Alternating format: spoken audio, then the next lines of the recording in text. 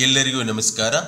Model question paper one key answers ಎರಡು ಸಾವಿರ ಇಪ್ಪತ್ತೊಂದು, ಇಪ್ಪತ್ತೆರಡು. ಕರ್ನಾಟಕ ಪ್ರೌಢ ಶಿಕ್ಷಣ ಪರೀಕ್ಷಾ ಮಂಡಳಿ, ಬೆಂಗಳೂರು. ಸಮಾಜ ವಿಜ್ಞಾನ, ಮಾದರಿ ಪ್ರಶ್ನೆ ಪತ್ರಿಕೆ ಒಂದು, ಎರಡು ಸಾವಿರ ಇಪ್ಪತ್ತೊಂದು, ಇಪ್ಪತ್ತೆರಡು. ಮೊದಲ ಮುಖ್ಯ ಪ್ರಶ್ನೆ ನೋಡೋಣ. ಕೆಳಗಿನ ಪ್ರಶ್ನೆಗಳಿಗೆ ಅಥವಾ ಅಪೂರ್ಣ ಹೇಳಿಕೆಗಳಿಗೆ ನಾಲ್ಕು ಆಯ್ಕೆಗಳನ್ನು ನೀಡಲಾಗಿದೆ. ಅವುಗಳಲ್ಲಿ ಹೆಚ್ಚು ಸೂಕ್ತವಾದ ಉತ್ತರವನ್ನು ಆರಿಸಿ ಅದರ ಕ್ರಮಾಕ್ಷರದೊಂದಿಗೆ ಬರೆಯಿರಿ. ಒಟ್ಟು ಎಂಟು ಪ್ರಶ್ನೆಗಳು, ಪ್ರತಿಯೊಂದು ಪ್ರಶ್ನೆಗೂ ಒಂದು ಅಂಕ ಇರುತ್ತೆ. ಹಾಗಾದರೆ ಆ ಪ್ರಶ್ನೆಗಳನ್ನು ನೋಡೋಣ ಬನ್ನಿ. ಸಹಾಯಕ ಸೈನ್ಯ ಪದ್ಧತಿಯನ್ನು ಜಾರಿಗೆ ತಂದವರು. ಇಲ್ಲಿ ನಾಲ್ಕು ಆಪ್ಷನ್ಸ್ ಇರ್ತಾವೆ. ನಾವು ನೇರವಾಗಿ ಉತ್ತರಕ್ಕೆ ಹೋಗ್ಬಿಡೋಣ. ಇದು ಪ್ರ ಆಪ್ಷನ್ಸನ್ನು ವಿದ್ಯಾರ್ಥಿಗಳು ತಾವು ಓದ್ಕೊಳ್ಬೋದು. ಓಕೆ, ಇದಕ್ಕೆ ಸರಿಯಾದ ಉತ್ತರ option B, Wellesley. Lord Wellesley ಅವರು ಸಹಾಯಕ ಸೇನೆ ಪದ್ಧತಿ ಜಾರಿ ತರ್ತಾರೆ. ಓಕೆ ನೆಕ್ಸ್ಟ್ ಹೋಗೋಣ. ಕಾನ್ಪುರದಲ್ಲಿ ಬ್ರಿಟಿಷರ ವಿರುದ್ಧ ಸಿಡಿದದ್ದ ನಾಯಕ? ಉತ್ತರ ಆಪ್ಷನ್ ಸಿ ನಾನಾ ಸಾಹೇಬ. ಮೂರನೇ ಪ್ರಶ್ನೆ, ಮಾನವ ಹಕ್ಕುಗಳ ದಿನವನ್ನು ಆಚರಿಸುವುದು? ಉತ್ತರ ಆಪ್ಷನ್ ಎ ಡಿಸೆಂಬರ್ ಹತ್ತರಂದು. ನಾಲ್ಕನೇ ಪ್ರಶ್ನೆ ನೋಡೋಣ. ಕೈಗಾ ಅನುಸ್ಥಾವರ ವಿರೋಧಿ ಚಳುವಳಿಯ ನೇತೃತ್ವ ವಹಿಸಿದ್ದವರು? ಉತ್ತರ option A, doctor Shivaram Karanth. ಐದನೇ ಪ್ರಶ್ನೆ ನೋಡೋಣ ಮೂಕನಾಯಕ ಪತ್ರಿಕೆಯನ್ನು ಪ್ರಾರಂಭಿಸಿದವರು? ಉತ್ತರ option C, doctor B R Ambedkar. ಆರನೇ ಪ್ರಶ್ನೆ ನೋಡೋಣ ಭಾರತದಲ್ಲಿ ಅತಿ ಕಡಿಮೆ ಮಳೆ ಪಡೆಯುವ ಸ್ಥಳ? ಉತ್ತರ ಆಪ್ಷನ್ ಎ, ರುಯ್ಲಿ, ರಾಜಸ್ಥಾನದ ರುಯ್ಲಿ ಅನ್ನೋ ಸ್ಥಳದಲ್ಲಿ. ಕಡಿಮೆ ಮಾಡಿಬಿಡುತ್ತೆ. ಓಕೆ ನೆಕ್ಸ್ಟ್ ಏಳನೇ ಪ್ರಶ್ನೆ, ಭಾರತದ ನೈಜ ಅಭಿವೃದ್ಧಿ ಎಂದರೆ ಅದು ಗ್ರಾಮಗಳ ಅಭಿವೃದ್ಧಿ ಎಂದು ಹೇಳಿದವರು? Option D is right answer Mahatma Gandhi. ಎಂಟನೇ ಪ್ರಶ್ನೆ ನೋಡೋಣ. ವಿಪ್ರೋ ಸಂಸ್ಥೆಯ ಸಂಸ್ಥಾಪಕರು?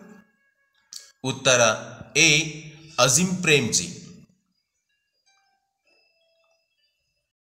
ಎರಡನೇ ಮುಖ್ಯ ಪ್ರಶ್ನೆ ನೋಡೋಣ. ಈ ಕೆಳಗಿನ ಪ್ರತಿಯೊಂದು ಪ್ರಶ್ನೆಗೂ ಒಂದೊಂದು ವಾಕ್ಯದಲ್ಲಿ ಉತ್ತರ ಬರೆಯಿರಿ. ಇಲ್ಲಿ ಕೂಡ ಎಂಟು ಪ್ರಶ್ನೆಗಳು, ಎಂಟು ಅಂಕಗಳು. ಒಂಬತ್ತನೇ ಪ್ರಶ್ನೆ ನೋಡೋಣ. ಎರಡನೆಯ ಶಾ ಆಲಮನು ಕೋರ್ ಮತ್ತು ಅಲಹಾಬಾದ್ಗಳನ್ನು ಮರಾಠರಿಗೆ ನೀಡಿದ್ದರಿಂದಾದ ಪರಿಣಾಮವೇನು? ಉತ್ತರವನ್ನು ನೋಡೋಣ. ಎರಡನೆಯ ಶಾ ಆಲಮನು ಕೋರ್ ಮತ್ತು ಅಲಹಾಬಾದ್ಗಳನ್ನು ಮರಾಠರಿಗೆ ನೀಡಿದ್ದರಿಂದ ಮರಾಠರು ಮತ್ತು ಬ್ರಿಟಿಷರ ನಡುವೆ ವೈರತ್ವ ಮನೆ ಮಾಡಿತು. ಮರಾಠರು ಮತ್ತು ಬ್ರಿಟಿಷರ ನಡುವೆ ವೈರತ್ವ ಏನಾಯಿತು? ಹೆಚ್ಚಾಯಿತು. ನೆಕ್ಸ್ಟ್ ಹತ್ತನೇ ಪ್ರಶ್ನೆ ನೋಡೋಣ. ವರ್ನ್ಯಾಕ್ಯುಲರ್ ಪ್ರೆಸ್ ಕಾಯ್ದೆಯನ್ನು ಏಕೆ ಜಾರಿಗೊಳಿಸಲಾಯಿತು? ಉತ್ತರವನ್ನು ನೋಡೋಣ. ಭಾರತೀಯ ಪತ್ರಿಕೆಗಳನ್ನು ನಿಯಂತ್ರಿಸುವುದಕ್ಕಾಗಿ ವರ್ನ್ಯಾಕ್ಯುಲರ್ ಪ್ರೆಸ್ ಕಾಯ್ದೆಯನ್ನು ಜಾರಿಗೊಳಿಸಲಾಯಿತು. ಇದನ್ನು ಸಾವಿರದ ಎಂಟುನೂರ ಎಪ್ಪತ್ತೆಂಟು, ಹದಿನೆಂಟುನೂರ ಎಪ್ಪತ್ತೆಂಟರಲ್ಲಿ ಲಾರ್ಡ್ ಲಿಟ್ಟನ್ ಇದನ್ನು ಜಾರಿಗೆ ತರ್ತಾನೆ. ಇದರ ಉದ್ದೇಶ ಏನಾಗಿರುತ್ತೆ ಅಂದರೆ ಭಾರತ ದೇಶದಲ್ಲಿರತಕ್ಕಂಥ ಒಂದು ಪತ್ರಿಕಾ ರಂಗವನ್ನು ನಿಯಂತ್ರಣ ಮಾಡಬೇಕು ಅನ್ನೋ ಉದ್ದೇಶದಿಂದ ಏನು ಮಾಡ್ತಾರೆ? ಈ ಒಂದು ಕಾಯ್ದೆನ ಜಾರಿಗೆ ತರ್ತಾರೆ. ಓಕೆ ನೆಕ್ಸ್ಟ್ ಹೋಗೋಣ. ನಿಶಸ್ತ್ರೀಕರಣ ಎಂದರೇನು? ಉತ್ತರವನ್ನು ನೋಡೋಣ. ಎಲ್ಲ ಶಸ್ತ್ರಾಸ್ತ್ರಗಳನ್ನು ಕಡಿತಗೊಳಿಸುವ ಅಥವಾ ಸಂಪೂರ್ಣ ಇಲ್ಲವಾಗಿಸುವ ನೇರ ಪ್ರಕ್ರಿಯೆಯನ್ನು ನಿಶಸ್ತ್ರೀಕರಣ ಎನ್ನುವರು. ನೆಕ್ಸ್ಟ್ ಹನ್ನೆರಡನೇ ಪ್ರಶ್ನೆಗೆ ಹೋಗೋಣ. ಸಾಮಾಜಿಕ ಭದ್ರತೆ ಏನನ್ನು ಒಳಗೊಂಡಿದೆ? ಉತ್ತರವನ್ನು ನೋಡೋಣ. ಮಾನವನಿಗೆ ಬದುಕಲು ಅಗತ್ಯವಾಗಿ ಬೇಕಾದ ಮೂಲ ಸೌಲಭ್ಯಗಳಾದ ವಸತಿ, ಆರೋಗ್ಯ, ಆಹಾರ, ಕುಡಿಯುವ ನೀರು, ದುಡಿಯುವ ಸಮಾನ ಅವಕಾಶ ಸಮಾನತೆ ಇತ್ಯಾದಿಗಳನ್ನು ಸಾಮಾಜಿಕ ಭದ್ರತೆ ಎನ್ನುವರು ಅಥವಾ ಸಾಮಾಜಿಕ ಭದ್ರತೆ ಎಲ್ಲ ಅಂಶಗಳನ್ನು ಒಳಗೊಂಡಿದೆ. ಉತ್ತರವನ್ನು ಬೇರೆ ಬೇರೆ ರೀತಿಯಲ್ಲೂ ಕೂಡ ಬರೀಬೋದು ಓಕೆ ನೆಕ್ಸ್ಟ್ ಹೋಗೋಣ. ಮಾವಿನ ಹುಯಿಲು ಎಂದರೇನು? ಉತ್ತರವನ್ನು ನೋಡೋಣ. ಕೇರಳದಲ್ಲಿ ಪರಿಸರನ ಮಳೆಯನ್ನು ಮಾವಿನ ಹುಯಿಲು ಎನ್ನುವರು. ಅಂದರೆ ಮಾವಿನ ಮರಗಳು ಚಿಗುರೊಡೆಯುವ ಸಮಯದಲ್ಲಿ ಪರಿಸರ ಮಳೆ ಆಗುತ್ತೆ. ಹೀಗಾಗಿ ಅದನ್ನು ಮಾವಿನ ಹುಯಿಲು ಅಂತ ಕರೀತಾರೆ ಕೇರಳದಲ್ಲಿ. ಓಕೆ ನೆಕ್ಸ್ಟ್ ಹೋಗೋಣ. ಕೆಂಪು ಮಣ್ಣು ಹೇಗೆ ಉತ್ಪತ್ತಿಯಾಗಿದೆ? ಉತ್ತರವನ್ನು ನೋಡೋಣ. ಗ್ರಾನೈಟ್, ನೀಸ್ ಮತ್ತು ಸ್ಫಟಿಕ ಶಿಲೆಗಳ ಶಿಥಿಲೀಕರಣದಿಂದ ಕೆಂಪು ಮಣ್ಣು ಉತ್ಪತ್ತಿಯಾಗುತ್ತದೆ. ಹದಿನೈದನೇ ಪ್ರಶ್ನೆ ನೋಡೋಣ. ಅಧಿಕಾರ ವಿಕೇಂದ್ರೀಕರಣ ಎಂದರೇನು? ಉತ್ತರವನ್ನು ನೋಡೋಣ. ಪ್ರತಿಯೊಂದು ಗ್ರಾಮದ ಅಭಿವೃದ್ಧಿಯ ಜವಾಬ್ದಾರಿಯನ್ನು ಗ್ರಾಮಸ್ಥರಿಗೆ ವಹಿಸಿಕೊಡುವುದನ್ನು ಅಧಿಕಾರ ವಿಕೇಂದ್ರೀಕರಣ ಎನ್ನುವರು. ಹದಿನಾರನೇ ಪ್ರಶ್ನೆ ನೋಡೋಣ. ಬಿಳಿ ಕ್ರಾಂತಿಯ ಪಿತಾಮಹ ಯಾರು? ಉತ್ತರ, ಬಿಳಿ ಕ್ರಾಂತಿಯ ಪಿತಾಮಹ ವರ್ಗೀಸ್ ಕುರಿಯನ್. ಮೂರನೇ ಮುಖ್ಯ ಪ್ರಶ್ನೆ, ಈ ಕೆಳಗಿನ ಪ್ರತಿಯೊಂದು ಪ್ರಶ್ನೆಗೂ ಎರಡರಿಂದ ನಾಲ್ಕು ವಾಕ್ಯಗಳಲ್ಲಿ ಉತ್ತರಿಸಿ.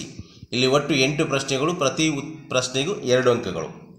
ಹದಿನೇಳನೇ ಪ್ರಶ್ನೆ, ಕಾನ್ಸ್ಟಾಂಟಿನೋಪಲ್ ನಗರದ ವಶವು ಭಾರತಕ್ಕೆ ಹೊಸ ಜಲಮಾರ್ಗ ಕಂಡುಹಿಡಿಯುವಂತಾಯಿತು, ಸಮರ್ಥಿಸಿ. ಉತ್ತರವನ್ನು ನೋಡೋಣ.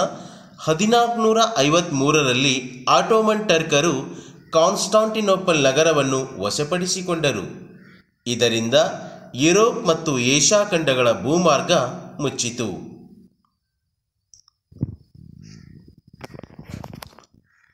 ಆಟೋಮನ್ ಟರ್ಕರು ಏಷ್ಯಾದ ಸರಕುಗಳ ಮೇಲೆ ಅಧಿಕ ತೆರಿಗೆ ವಿಧಿಸಿದರು.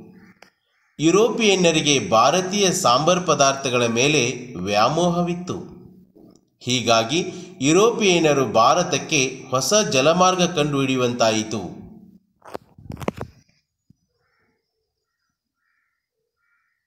ಹದಿನೆಂಟನೇ ಪ್ರಶ್ನೆ ನೋಡೋಣ. ಜುನಾಗಢವು ಭಾರತದ ಒಕ್ಕೂಟದಲ್ಲಿ ಹೇಗೆ ಸೇರ್ಪಡೆಯಾಯಿತು?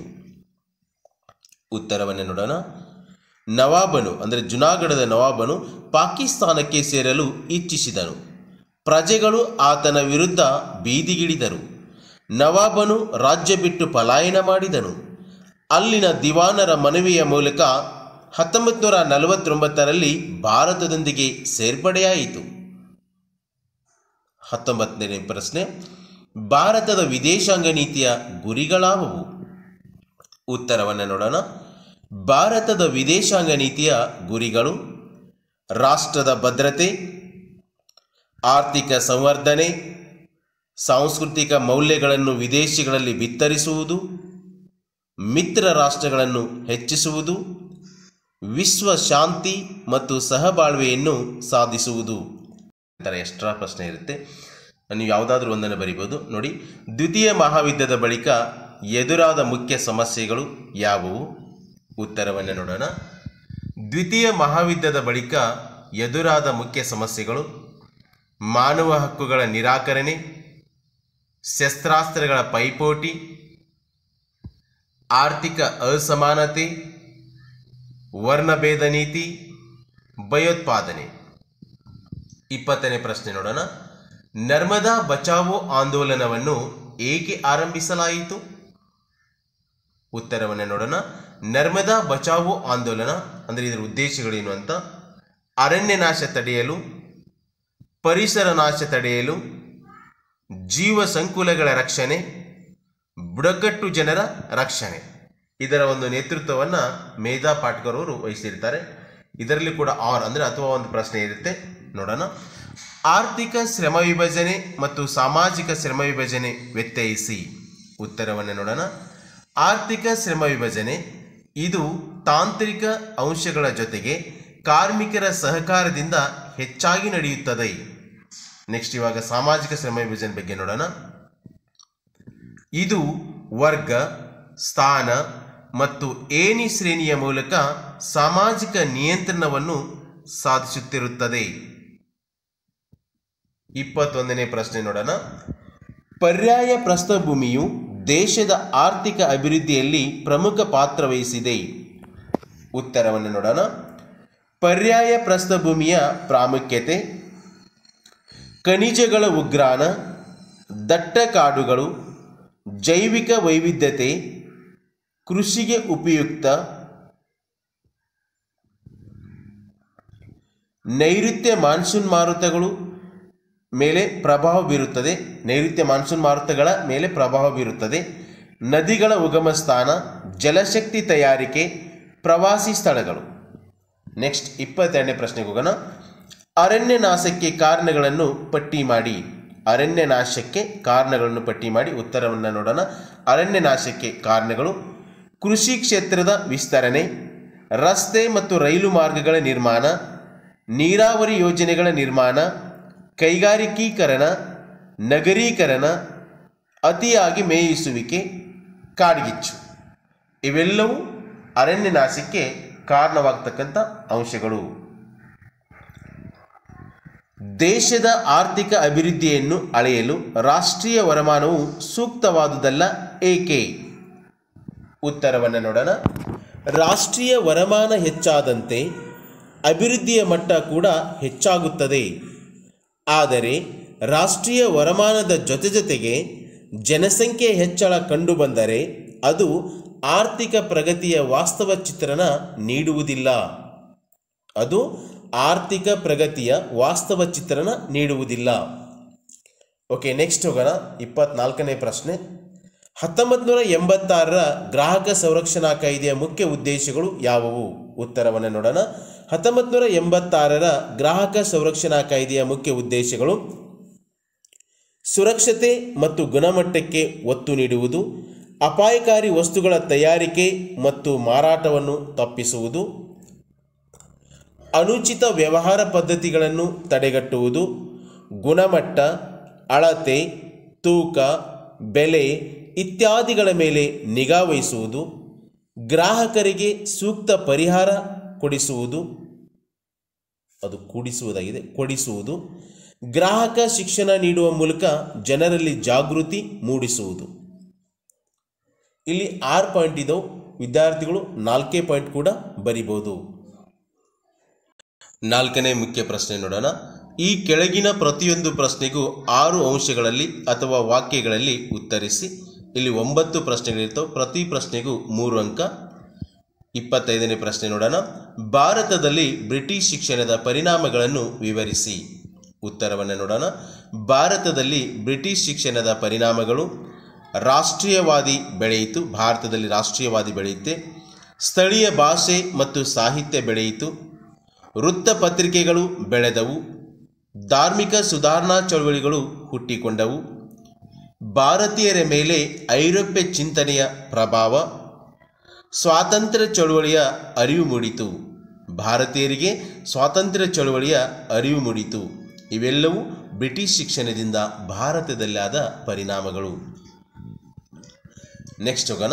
ಮೂರನೇ ಆಂಗ್ಲೋ ಮೈಸೂರು ಯುದ್ಧದ ಫಲಿತಾಂಶಗಳೇನು? ಉತ್ತರವನ್ನು ನೋಡೋಣ. ಮೂರನೇ ಆಂಗ್ಲೋ ಮೈಸೂರು ಯುದ್ಧದ ಫಲಿತಾಂಶಗಳು.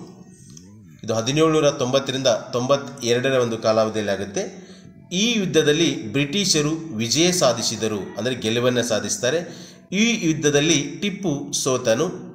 ಈ ಯುದ್ಧವು ಶ್ರೀರಂಗಪಟ್ಟಣ ಒಪ್ಪಂದದೊಂದಿಗೆ ಮುಕ್ತಾಯವಾಯಿತು. ಶ್ರೀರಂಗಪಟ್ಟಣ ಒಪ್ಪಂದದ ಷರತ್ತುಗಳು, ಟಿಪ್ಪು ತನ್ನ ಅರ್ಧ ರಾಜ್ಯ ಬಿಟ್ಟುಕೊಡುವುದು. ಈ ಶ್ರೀರಂಗಪಟ್ಟಣ ಒಪ್ಪಂದದ ಪ್ರಕಾರ ಟಿಪ್ಪು ಸುಲ್ತಾನ ತನ್ನ ಅರ್ಧ ರಾಜ್ಯವನ್ನು ಬಿಟ್ಟುಕೊಡುವುದು. ಯುದ್ಧ ನಷ್ಟವಾಗಿ ಮೂರು ಕೋಟಿ ರೂಪಾಯಿ ಕೊಡುವುದು. ಗ್ಯಾರಂಟಿಯಾಗಿ ತನ್ನ ಇಬ್ಬರು ಮಕ್ಕಳನ್ನು ಒತ್ತೆ ಇಡುವುದು ಬ್ರಿಟಿಷರ ಬಳಿ ಒತ್ತೆ ಇಡುವುದು ಸೆರೆ ಹಿಡಿದ ಸೈನಿಕರನ್ನು ಬಿಡುವುದು. ಇಲ್ಲಿ ಆರ್ ಅಂದರೆ ಅಥವಾ ಅಂತ ಒಂದು ಪ್ರಶ್ನೆ ಇದೆ, ನೋಡೋಣ. ಅಸಹಕಾರ ಚಳುವಳಿಯ ಪ್ರಮುಖ ಕಾರ್ಯಕ್ರಮಗಳಾವುವು? ಉತ್ತರವನ್ನು ನೋಡೋಣ. ಅಸಹಕಾರ ಚಳುವಳಿಯ ಪ್ರಮುಖ ಕಾರ್ಯಕ್ರಮಗಳು ಶಾಲಾ ಕಾಲೇಜುಗಳನ್ನು ಮತ್ತು ನ್ಯಾಯಾಲಯಗಳನ್ನು ಬಹಿಷ್ಕರಿಸುವುದು. ಹತ್ತೊಂಬತ್ತು ನೂರ ಹತ್ತೊಂಬತ್ತರ ಕಾಯ್ದೆ ಅನ್ವಯ ಪ್ರಾಂತೀಯ ಶಾಸನ ಸಭೆಗಳಿಗೆ ನಡೆಯುವ ಚುನಾವಣೆಯನ್ನು ಬಹಿಷ್ಕರಿಸುವುದು.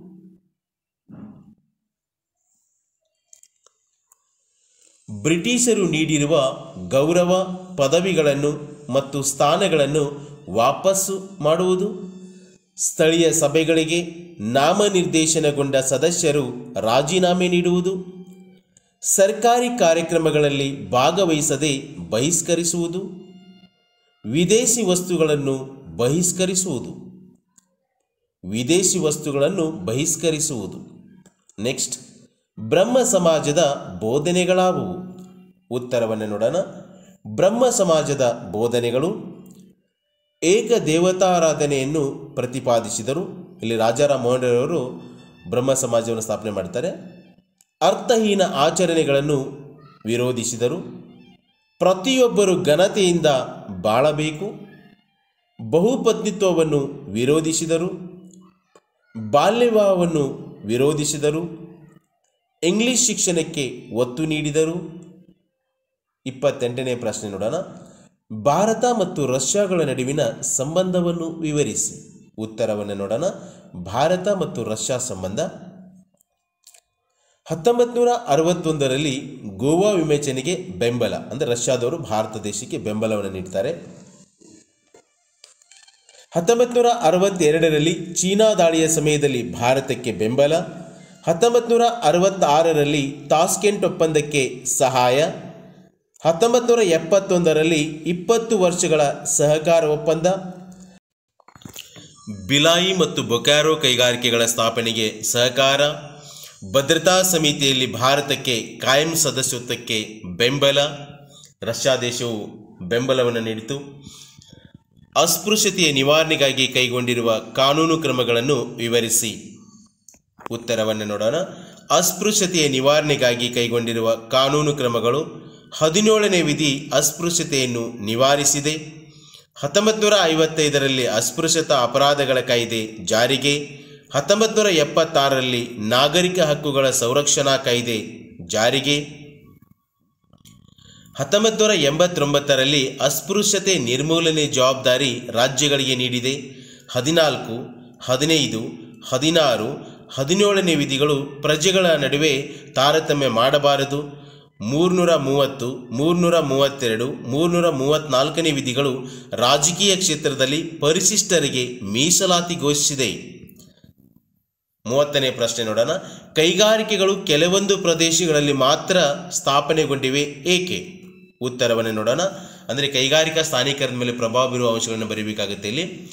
ಕಚ್ಚಾ ವಸ್ತುಗಳ ಸರಬರಾಜು ಶಕ್ತಿ ಸಂಪನ್ಮೂಲಗಳ ಪೂರೈಕೆ, ಸಾರಿಗೆ ಮತ್ತು ಸಂಪರ್ಕ ವ್ಯವಸ್ಥೆ, ಮಾರುಕಟ್ಟೆ ಸೌಲಭ್ಯ, ಬಂಡವಾಳ, ಕಾರ್ಮಿಕರು ಮತ್ತು ನೀರು ದೊರೆಯುವಿಕೆ, ಸೂಕ್ತ ವಾಯುಗುಣ, ಸರ್ಕಾರದ ನೀತಿ ನಿಯಮಗಳು. ಮೂವತ್ತೊಂದನೇ ಪ್ರಶ್ನೆ, ಭೂಕುಸಿತದ ಪರಿಣಾಮಗಳನ್ನು ವಿವರಿಸಿ. ಉತ್ತರವನ್ನು ನೋಡೋಣ. ಭೂಕುಸಿತದ ಪರಿಣಾಮಗಳು ರೈಲು ಮಾರ್ಗಗಳಿಗೆ ಅಡಚಣೆ, ರೈಲು ಮಾರ್ಗಗಳಿಗೆ ಅಡಚಣೆ, ರಸ್ತೆಗಳಿಗೆ ಅಡಚಣೆ, ಜನವಸತಿ ಭೂಗತವಾಗುವುದು, ಸಸ್ಯವರ್ಗಗಳು ಭೂಗತವಾಗುವುದು, ಸಾವು ನೋವು ಸಂಭವಿಸುವುದು, ಆಸ್ತಿಗಳಿಗೆ ಹಾನಿ. ಆಸ್ತಿಗಳಿಗೆ ಹಾನಿ ಉಂಟಾಗುತ್ತೆ. ಇಲ್ಲಿ ಅಥವಾ ಅಂತ ಒಂದು ಪ್ರಶ್ನೆ ಇದೆ. ಸಾರಿಗೆ ಪ್ರಾಮುಖ್ಯತೆಯನ್ನು ವಿವರಿಸಿ ಉತ್ತರವನ್ನು ನೋಡೋಣ. ಸಾರಿಗೆ ಪ್ರಾಮುಖ್ಯತೆ, ಕೃಷಿ ಅಭಿವೃದ್ಧಿಗೆ ಪೂರಕ, ಕೈಗಾರಿಕೆಗಳ ಅಭಿವೃದ್ಧಿಗೆ ಪೂರಕ, ಗ್ರಾಮ ಮತ್ತು ನಗರಗಳ ಅಭಿವೃದ್ಧಿಗೆ ಪೂರಕ, ಸಮಯದ ಉಳಿತಾಯ, ಮಾರುಕಟ್ಟೆ ವಿಸ್ತರಣೆ ಮಾರುಕಟ್ಟೆ ವಿಸ್ತರಣೆ, ದೇಶೀಯ ಮತ್ತು ವಿದೇಶಿ ವ್ಯಾಪಾರದ ವೃದ್ಧಿ, ಉದ್ಯೋಗ ಸೃಷ್ಟಿ, ಜನರ ಜೀವನ ಮಟ್ಟದ ಸುಧಾರಣೆ ಪ್ರವಾಸೋದ್ಯಮಕ್ಕೆ ಪ್ರೋತ್ಸಾಹ, ರಕ್ಷಣಾ ಪಡೆಗೂ ಸಹಾಯಕ. ಇವೆಲ್ಲವೂ ಸಾರಿಗೆ ಪ್ರಾಮುಖ್ಯತೆಯನ್ನು ಸೂಚಿಸ್ತವೆ. ನೆಕ್ಸ್ಟ್ ಮೂವತ್ತೆರಡನೇ ಪ್ರಶ್ನೆಗೆ ಹೋಗೋಣ. ಪಂಚಾಯತ್ ರಾಜ್ ಸಂಸ್ಥೆಯ ಪ್ರಮುಖ ಲಕ್ಷಣಗಳನ್ನು ತಿಳಿಸಿ. ಉತ್ತರವನ್ನು ನೋಡೋಣ. ಪಂಚಾಯತ್ ರಾಜ್ ಸಂಸ್ಥೆಗಳ ಪ್ರಮುಖ ಲಕ್ಷಣಗಳು ಗ್ರಾಮ ಪಂಚಾಯಿತಿ, ತಾಲೂಕು ಪಂಚಾಯಿತಿ ಮತ್ತು ಜಿಲ್ಲಾ ಪಂಚಾಯಿತಿಗಳೆಂಬ ಮೂರು ಹಂತದ ಪಂಚಾಯತ್ ವ್ಯವಸ್ಥೆ ಇದ್ದು ಗ್ರಾಮಸಭೆಯು ಅದರ ತಳಹದಿಯಾಗಿದೆ ನೇರ ಹಾಗೂ ನೇಮಿತ ಚುನಾವಣೆಗಳು ಸಾರಿ ಅದು ನಿಯಮಿತ ಆಗಿದೆ. ನಿಯಮಿತ ಚುನಾವಣೆಗಳು, ಪರಿಶಿಷ್ಟ ಜಾತಿ, ಪರಿಶಿಷ್ಟ ಪಂಗಡ, ಹಿಂದುಳಿದ ವರ್ಗಗಳು ಮತ್ತು ಮಹಿಳೆಯರಿಗೆ ಮೀಸಲಾತಿ ಇದೆ. ಹಣಕಾಸು, ಆಡಳಿತಾತ್ಮಕ, ಮುಂಗಡ ಪತ್ರ ಮಂಡಿಸುವ ಮತ್ತು ಲೆಕ್ಕ ಪರಿಶೋಧಿಸುವ ಜವಾಬ್ದಾರಿಗಳ ನೀಡಿಕೆ, ಕಾರ್ಯನಿರ್ವಾಹಕ ಮತ್ತು ಇತರ ಸಿಬ್ಬಂದಿ ನೀಡಿಕೆ, ಪಂಚಾಯಿತಿ ವಿಸರ್ಜನೆಗೊಂಡ ಆರು ತಿಂಗಳ ಒಳಗಾಗಿ ಕಡ್ಡಾಯವಾಗಿ ಚುನಾವಣೆ ನಡೆಸುವುದು. ಪಂಚಾಯಿತಿ ವಿಸರ್ಜನೆಗೊಂಡ ಆರು ತಿಂಗಳ ಒಳಗಾಗಿ ಕಡ್ಡಾಯವಾಗಿ ಚುನಾವಣೆ ನಡೆಸುವುದು.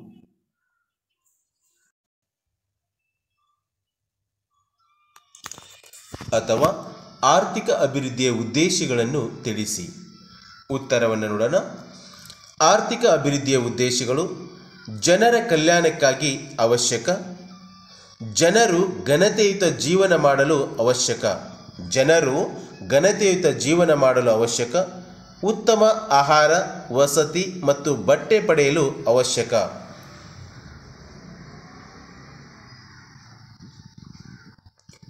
ಉತ್ತಮ ಶಿಕ್ಷಣ ಮತ್ತು ಆರೋಗ್ಯ ಪಡೆಯಲು ಅವಶ್ಯಕ. ಸಾಮಾಜಿಕ ಭದ್ರತೆಗೆ ಅವಶ್ಯಕ. ಶುದ್ಧ ನೀರು, ಗಾಳಿ ಮತ್ತು ಪರಿಸರ ಪಡೆಯಲು ಅವಶ್ಯಕ. ಈ ಎಲ್ಲ ಅಂಶಗಳಿಗಾಗಿ ನಾವು ಆರ್ಥಿಕ ಅಭಿವೃದ್ಧಿಯನ್ನು ಸಾಧಿಸಬೇಕಾಗುತ್ತೆ. ಓಕೆ ನೆಕ್ಸ್ಟ್ ಹೋಗೋಣ. ಬ್ಯಾಂಕಿನ ಕಾರ್ಯಗಳು ಯಾವುವು? ಉತ್ತರವನ್ನು ನೋಡೋಣ. ಬ್ಯಾಂಕಿನ ಕಾರ್ಯಗಳು. ಠೇವಣಿಗಳನ್ನು ಅಂಗೀಕರಿಸುವುದು. ಸಾಲಗಳನ್ನು ಕೊಡುವುದು. ಹಣವನ್ನು ವರ್ಗಾಯಿಸುವುದು. ಚೆಕ್ಕುಗಳ ಮೇಲೆ ಹಣ ವಸೂಲು ಮಾಡುವುದು. ಚೆಕ್ಕುಗಳ ಮೇಲೆ ಹಣ ವಸೂಲು ಮಾಡುವುದು. ಹುಂಡಿಗಳನ್ನು ಸೋಡಿ ಮಾಡುವುದು. ಭದ್ರತಾ ಕಪಾಟುಗಳನ್ನು ಕೊಡುವುದು. ವಿದೇಶಿ ವಿನಿಮಯ ವ್ಯವಹಾರಗಳನ್ನು ನಿರ್ವಹಿಸುವುದು, ಸರ್ಕಾರದ ಹಣಕಾಸಿನ ವ್ಯವಹಾರಗಳನ್ನು ನಿರ್ವಹಿಸುವುದು. ಅಥವಾ ಉದ್ಯಮಿಯ ಕಾರ್ಯಗಳು ಯಾವುವು? ಉತ್ತರವನ್ನು ನೋಡೋಣ. ಉದ್ಯಮಿಯ ಕಾರ್ಯಗಳು, ಉದ್ಯಮಿಯು ಯೋಜನೆಗಳ ಮೂಲಕ ಪ್ರಾರಂಭಿಸುತ್ತಾನೆ. ಉತ್ಪಾದನಾಂಗಗಳನ್ನು ಸಂಯೋಜಿಸುತ್ತಾನೆ. ಇವನು ಅಂದರೆ ಉದ್ಯಮಿಯು ನಿರ್ಧಾರ ಕೈಗೊಳ್ಳುತ್ತಾನೆ. ಎಲ್ಲ ಅಂಶಗಳನ್ನು ಸಮಂಜಸವಾಗಿ ಸಂಯೋಜಿಸುತ್ತಾನೆ. ಈ ಉದ್ಯಮಿಯು ಎಲ್ಲ ಅಂಶಗಳನ್ನು ಸಮಂಜಸವಾಗಿ ಸಂಯೋಜಿಸುತ್ತಾನೆ.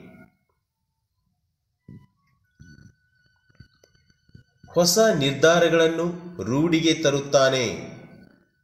ಹಣಕಾಸಿನ ಅಯವ್ಯಯವನ್ನು ನಿಭಾಯಿಸುತ್ತಾನೆ. ಕಷ್ಟ ನಷ್ಟಗಳನ್ನು ಎದುರಿಸುತ್ತಾನೆ. ಮಾರ್ಗದರ್ಶನ ನೀಡುತ್ತಾನೆ. ಈ ಉದ್ಯಮಿಯು ಮಾರ್ಗದರ್ಶನ ನೀಡುತ್ತಾನೆ. ಇವೆಲ್ಲವೂ ಉದ್ಯಮಿಯ ಕಾರ್ಯಗಳು. ಐದನೇ ಮುಖ್ಯ ಪ್ರಶ್ನೆ ನೋಡೋಣ. ಈ ಕೆಳಗಿನ ಪ್ರತಿಯೊಂದು ಪ್ರಶ್ನೆಗೂ ಸುಮಾರು ಎಂಟು ವಾಕ್ಯಗಳಲ್ಲಿ ಉತ್ತರಿಸಿ, ಇಲ್ಲಿ ನಾಲ್ಕು ಪ್ರಶ್ನೆಗಳಿರ್ತವೆ ಪ್ರತಿ ಪ್ರಶ್ನೆಗೂ ನಾಲ್ಕು ಅಂಕಗಳು. ಮೊದಲನೇ ಪ್ರಶ್ನೆ ನೋಡೋಣ, ಮೂವತ್ನಾಲ್ಕು. ಸ್ವತಂತ್ರ ಹೋರಾಟದ ಅವಧಿಯಲ್ಲಿ ಸುಭಾಷ್ ಚಂದ್ರ ಬೋಸ್ ಅವರು ಬ್ರಿಟಿಷರ ವಿರುದ್ಧ ಹೇಗೆ ಹೋರಾಡಿದರು? ಉತ್ತರವನ್ನು ನೋಡೋಣ. ಸ್ವತಂತ್ರ ಹೋರಾಟದಲ್ಲಿ ಸುಭಾಷ್ ಚಂದ್ರ ಬೋಸ್ ಅವರ ಪಾತ್ರ. ಇವರು ಗಾಂಧೀಜಿಯವರ ಸೌಮ್ಯ ಹೋರಾಟಕ್ಕೆ ವಿರುದ್ಧವಾಗಿದ್ದರು.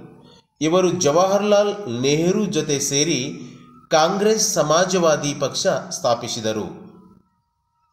ಕಾಂಗ್ರೆಸ್ ಸಮಾಜವಾದಿ ಪಕ್ಷ ಸ್ಥಾಪಿಸಿದರು.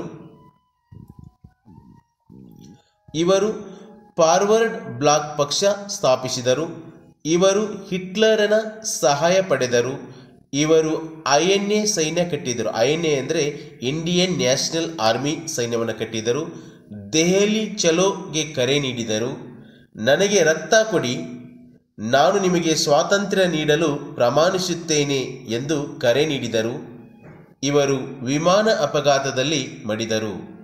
ಸುಭಾಷ್ ಚಂದ್ರ ಬೋಸರು ವಿಮಾನ ಅಪಘಾತದಲ್ಲಿ ಮಡಿದರು. ಮೂವತ್ತೈದನೇ ಪ್ರಶ್ನೆ ನೋಡೋಣ. ಸ್ವಾತಂತ್ರ್ಯ ಹೋರಾಟದಲ್ಲಿ ಮಂದಗಾಮಿಗಳ ಪಾತ್ರವನ್ನು ವಿವರಿಸಿ. ಉತ್ತರವನ್ನು ನೋಡೋಣ. ಸ್ವಾತಂತ್ರ್ಯ ಹೋರಾಟದಲ್ಲಿ ಮಂದಗಾಮಿಗಳ ಪಾತ್ರ. ಮೊದಲಿಗೆ ಪ್ರಮುಖ ಮಂದಗಾಮಿಗಳು W C Banerjee, M G Ranade Surendranath Banerjee, Dadabhai Naoroji, Gopal Krishna Gokhale, ಮಂದಗಾಮಿಗಳ ಪ್ರಮುಖ ಬೇಡಿಕೆಗಳನ್ನು ನೋಡೋಣ. ಇವರು ಬ್ರಿಟಿಷರ ಆಳ್ವಿಕೆಯಲ್ಲಿ ನಂಬಿಕೆ ಇಟ್ಟಿದ್ದರು. ಸಂವಿಧಾನದಡಿ ತಮ್ಮ ಬೇಡಿಕೆಗಳನ್ನು ಸರ್ಕಾರದ ಮುಂದೆ ಇಡುತ್ತಿದ್ದರು. ಜನರಲ್ಲಿ ರಾಜಕೀಯ ಜ್ಞಾನ ತರಲು ಪ್ರಯತ್ನಿಸಿದರು. ದೇಶದ ಕೈಗಾರಿಕೆಗಳ ಅಭಿವೃದ್ಧಿ ಸೈನಿಕ ವೆಚ್ಚ ಕಡಿಮೆ ಮಾಡುವುದು, ಉತ್ತಮ ಶಿಕ್ಷಣ ಕೊಡುವುದು, ಬಡತನದ ಬಗ್ಗೆ ಅಧ್ಯಯನ, ಬಡತನಕ್ಕೆ ಪರಿಹಾರ ಕೈಗೊಳ್ಳುವುದು. ಅಂದರೆ ಬ್ರಿಟಿಷರು ಬಡತನದ ಬಗ್ಗೆ ಅಧ್ಯಯನ ಮಾಡಿಬಿಟ್ಟು ಅದಕ್ಕೆ ಪರಿಹಾರ ಕೈಗೊಳ್ಳಬೇಕನ್ನೋದು ಇವರ ಒಂದು ಬೇಡಿಕೆಯಾಗಿತ್ತು. ಅಥವಾ ಹದಿನೆಂಟುನೂರ ಐವತ್ತೇಳರ ಕ್ರಾಂತಿಗೆ ಕಾರಣವಾದ ಅಂಶಗಳನ್ನು ವಿವರಿಸಿ, ಉತ್ತರವನ್ನು ನೋಡೋಣ. ಹದಿನೆಂಟುನೂರ ಐವತ್ತೇಳರ ಕ್ರಾಂತಿಗೆ ಕಾರಣವಾದ ಅಂಶಗಳು, ಮೊದಲಿಗೆ ರಾಜಕೀಯ ಕಾರಣಗಳು, ದತ್ತು ಮಕ್ಕಳಿಗೆ ಹಕ್ಕಿಲ್ಲ ನೀತಿ ಜಾರಿಗೆ, ರಾಜರು ತಮ್ಮ ರಾಜ್ಯವನ್ನು ಕಳೆದುಕೊಂಡರು, ಬ್ರಿಟಿಷರು ಅನೇಕ ರಾಜರನ್ನು ಪದಚ್ಯುತಗೊಳಿಸಿದರು, ಸೈನಿಕರು ನಿರುದ್ಯೋಗಿಗಳಾದರು. ಸೈನಿಕರು ನಿರುದ್ಯೋಗಿಗಳಾದರು. ನೆಕ್ಸ್ಟ್ ಆರ್ಥಿಕ ಕಾರಣಗಳನ್ನು ನೋಡೋಣ ಇಂಗ್ಲೆಂಡಲ್ಲಿ ಕೈಗಾರಿಕಾ ಕ್ರಾಂತಿ ಸಂಭವಿಸಿತು. ಭಾರತದ ಕೈಗಾರಿಕೆಗಳ ಅವನತಿ, ಬ್ರಿಟಿಷರ ದುಬಾರಿ ಸುಂಕ, ರೈತರ ಶೋಷಣೆ. ನೆಕ್ಸ್ಟ್, ಆಡಳಿತಾತ್ಮಕ ಕಾರಣಗಳನ್ನು ನೋಡೋಣ. ಬ್ರಿಟಿಷರು ನಾಗರಿಕ ಮತ್ತು ಅಪರಾಧ ಕಾಯ್ದೆಗಳನ್ನು ಜಾರಿಗೆ ತಂದರು. ಈ ಕಾಯ್ದೆ ಭಾರತೀಯರಿಗೆ ಒಪ್ಪಿಗೆಯಾಗಲಿಲ್ಲ. ಇಂಗ್ಲಿಷ್ ನ್ಯಾಯಾಲಯದ ಭಾಷೆಯಾಗಿತ್ತು. ನ್ಯಾಯಾಲಯದಲ್ಲಿ ಇಂಗ್ಲಿಷ್ ಭಾಷೆಯನ್ನು ಬಳಸ್ತಾ ಇದ್ರು. ಬ್ರಿಟಿಷ್ ನ್ಯಾಯಾಧೀಶರು ಬ್ರಿಟಿಷ್ ಪರ ನ್ಯಾಯ ನೀಡುತ್ತಿದ್ದರು.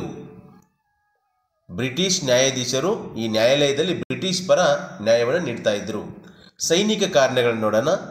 ಭಾರತೀಯ ಸೈನಿಕರಿಗೆ ಕಡಿಮೆ ಸ್ಥಾನಮಾನ ನೀಡುತ್ತಿದ್ದರು. ಭಾರತೀಯ ಸೈನಿಕರಿಗೆ ಬಡ್ತಿ ನೀಡುತ್ತಿರಲಿಲ್ಲ. ಭಾರತೀಯ ಸೈನಿಕರಿಗೆ ಕಡಿಮೆ ವೇತನ ನೀಡುತ್ತಿದ್ದರು. ಭಾರತೀಯ ಸೈನಿಕರಿಗೆ ಸಾಗರೋತ್ತರ ಸೇವೆಗೆ ಒತ್ತಾಯಿಸುತ್ತಿದ್ದರು. ತಕ್ಷಣದ ಕಾರಣಗಳನ್ನು ನೋಡೋಣ. ರಾಯಲ್ ಎನ್ಫೀಲ್ಡ್ ಬಂದೂಕಿನ ಬಳಕೆ, ಇದೊಂದು ಹೊಸ ಮಾದರಿಯ ಒಂದು ಬಂದೂಕಾಗಿತ್ತು. ಹಂದಿ ಮತ್ತು ಹಸುವಿನ ಕೊಬ್ಬು ಸವರಿದ್ದಾರೆಂಬ ವದಂತಿ. ಈ ಬಂದೂಕಿಗೆ ಹಂದಿ ಮತ್ತು ಹಸುವಿನ ಕೊಬ್ಬನ್ನು ಸವರಿದ್ದಾರೆಂಬ ಅಂತ ಒಂದು ವದಂತಿ ಹರಡಿತು. ಬಂದೂಕು ಬಳಸಲು ಸಿಪಾಯಿಗಳ ವಿರೋಧ. ಮಂಗಲ ಪಾಂಡೆ ಬ್ರಿಟಿಷ್ ಅಧಿಕಾರಿಯನ್ನು ಕೊಂದನು.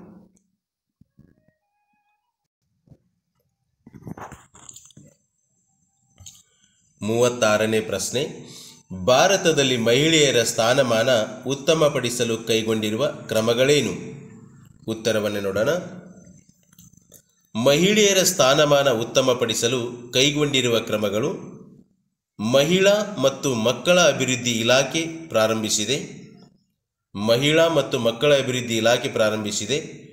ಮಹಿಳೆಯರ ಆರೋಗ್ಯ, ಶಿಕ್ಷಣ ಮತ್ತು ಸಾಮಾಜಿಕ ಕ್ಷೇತ್ರದಲ್ಲಿನ ಸ್ಥಾನಮಾನವನ್ನು ಉತ್ತಮಪಡಿಸಲಾಗುತ್ತಿದೆ. ಬಾಲ್ಯ ವಿವಾಹ ನಿಷೇಧ, ವರದಕ್ಷಿಣೆ ನಿಷೇಧ, ವರದಕ್ಷಿಣೆಯನ್ನು ನಿಷೇಧ ಮಾಡಲಾಗಿದೆ.